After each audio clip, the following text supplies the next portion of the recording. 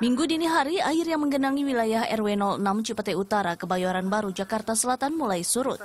Ketinggian air yang sebelumnya mencapai 2 meter surut menjadi 70 hingga 100 cm. Air naik sejak Sabtu sore.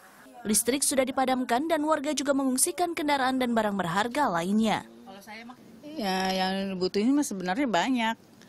Ya kan, ya tempat ting, maksudnya buat tempat tidur ini kan yang kecil.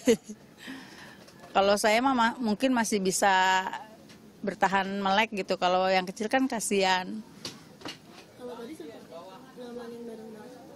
Iya, kulkas sempat kerendam itu pa- pada kerendam semua kasur segala, kasur, kulkas, sama mesin cuci semua di rumah. Banjir di wilayah Cipete Utara kali ini adalah yang terparah sepanjang tahun 2016. Ada 400 rumah yang terkena luapan sungai Krukut pasca hujan deras Sabtu kemarin. Nadia Sagara, Aditya Mustakim, melaporkan untuk NET.